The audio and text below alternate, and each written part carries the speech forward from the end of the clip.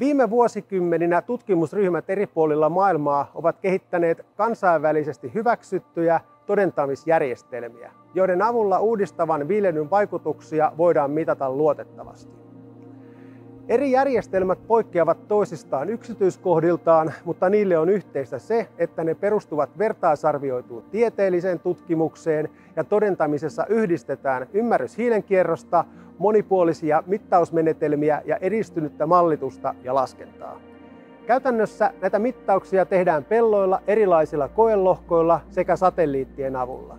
Saadut mittaustulokset yhdistetään peltoekosysteemiä kuvaaviin malleihin ja näin voidaan tarkastella uudistavan viljelyn toimien vaikutuksia sekä ennakoida ja arvioida hiilen sidontaa erilaisissa olosuhteissa.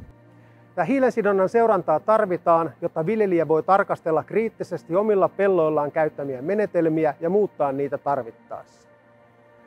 Tällä todentamisjärjestelmällä on tärkeä rooli myös hiilimarkkinan kehittämisessä, yritysten ja tuotteiden hiilijalanjälkimittareiden luomisessa ja poliittisessa päätöksenteossa.